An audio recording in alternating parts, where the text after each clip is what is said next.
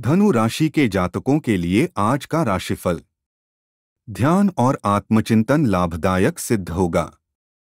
अतिरिक्त धन को रियल एस्टेट में निवेश किया जा सकता है। आपकी स्वच्छंद जीवन शैली घर में तनाव पैदा कर सकती है, इसलिए देर रात तक बाहर रहने और ज़्यादा खर्च करने से बचें। आपका काम दरकिनार हो सकता है, क्योंकि आप अपने प्रिय की बाहों में खुशी आराम और उल्लास महसूस करेंगे। दफ्तर में आपको पता लग सकता है कि जिसे आप अपना दुश्मन समझते थे, वह दरअसल आपका शुभचिंतक है। यात्रा करना फ़ायदेमंद लेकिन महँगा साबित होगा।